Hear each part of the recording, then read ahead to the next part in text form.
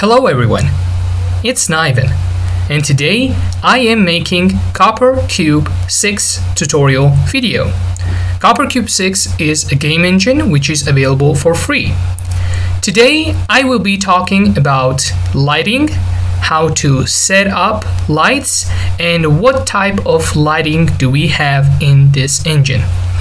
Unfortunately, there is not much to do with lights except if you buy Copper Cube 6 and you have a paid version, you can add some effects, post effects. For example, we have bloom, we have black and white, we have inversion, we have blur, we have colorizing with different colors, basically creating a scheme of sort and we also have uh, one to use for for example flashlight and things like that.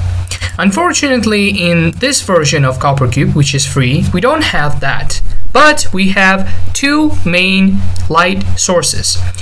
When you go to create you should go to create a point light which creates a point light now we will be talking about this.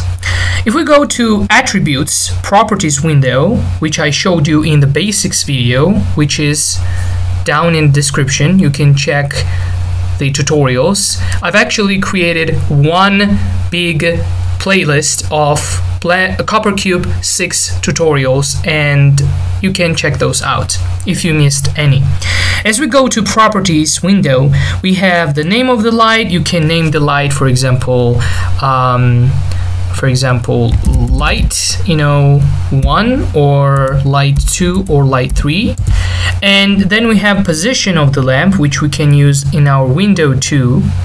You can move around the light.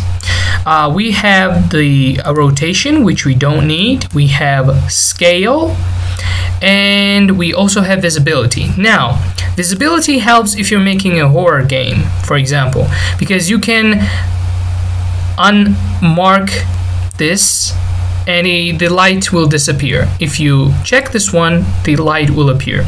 And we also have specific item properties which is the color of the light. You can create any color you want.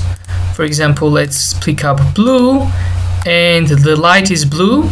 And you can also choose the radius. You can go from 1000 to you know 1 1 is very very small. Now let's make a room and see how this light works. How to create a room? First of all we delete the cube mesh we go to create and here we have room and we should create a simple default room. Here it is. Now we cannot see the light correctly. Why? Because if you go to the room mesh and you go to materials it says static light maps. Now this means that the light is generated overall around the texture. If we go to dynamic, it will change to much more realistic lighting. See, as you can see, now we have more realistic lighting. And as you go to the light section, we go to properties, attributes, and we make radius, for example, 50, as it is default number, as you can see, our room is all blue. Now, if we go and create a camera, a first person camera, as you know, we go to create camera, first person shooter camera, and okay, and we click on publish, and here we have the blue room. Now, as you know, we can change the colors right here. You go down and change the color to yellow. And it has the yellow color inside the room. Let's change it to, let's say, green. And you have the green color in your room. And we can also change this to, for example, red. Everyone likes red, right? So this will look like very scary room because red is the definition of, you know, scary tone. But let's uh, let's make it uh, white. White color. So this is it. This is the basic color of the room. Now let's delete the light. We go to the scene graph explorer. We click on right mouse button and delete.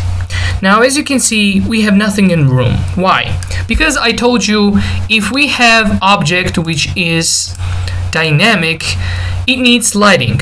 And also if the textures are normal mapped it will also need a light source. Now if we go and switch this to light maps then you have just a light maps generated texture and light. Now let's delete the room for a second um, and let's create a terrain right? So all of this right here terrain is default so we create OK. And this just generated um, default terrain. Now this terrain has one simple thing. This terrain has directional light.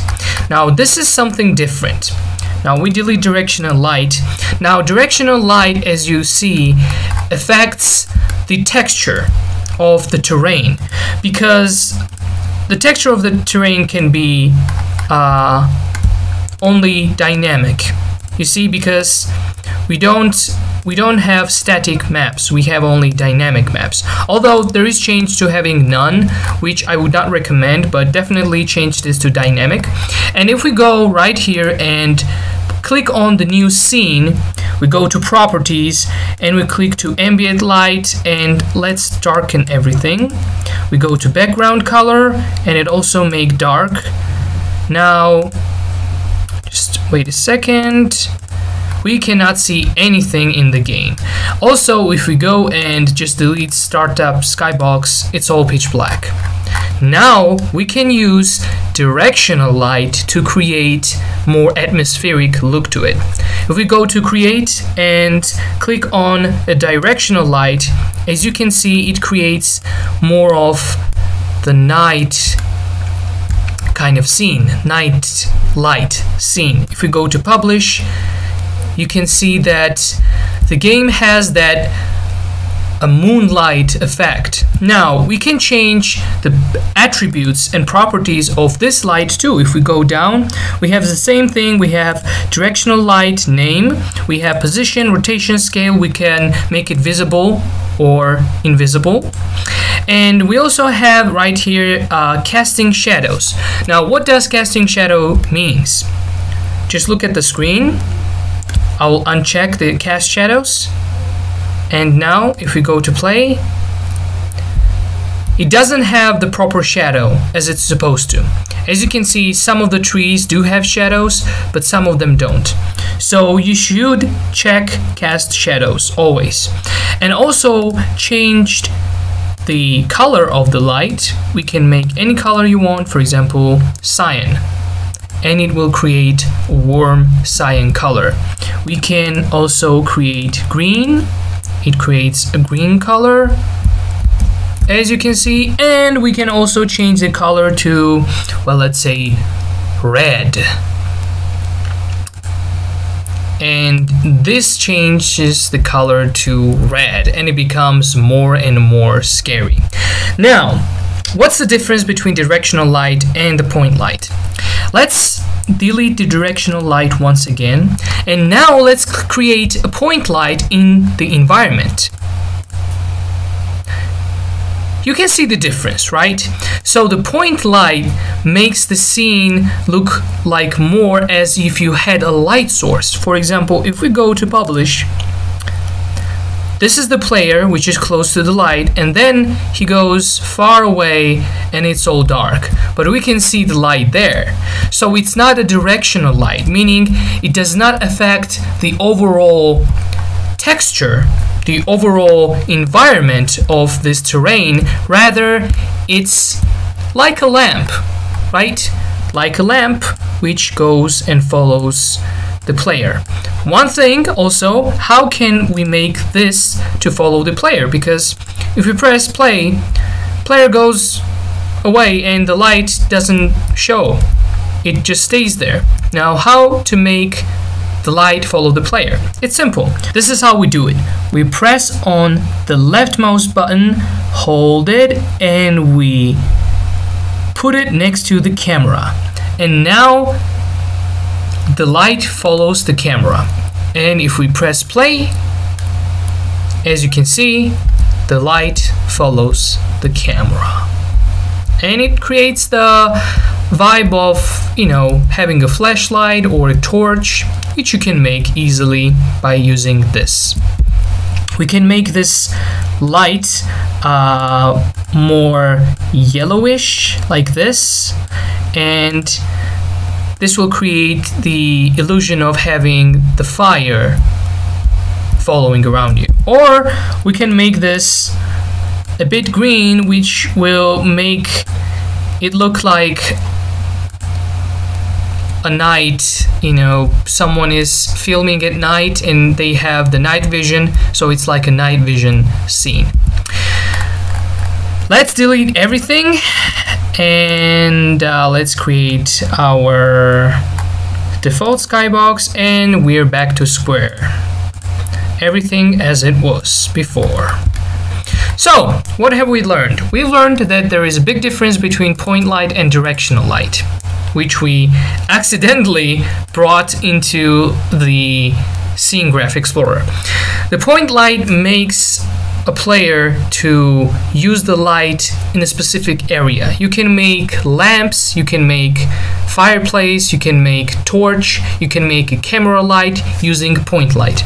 The directional light which is different affects the entire area of the terrain or the room or anything you create. It affects the overall lighting.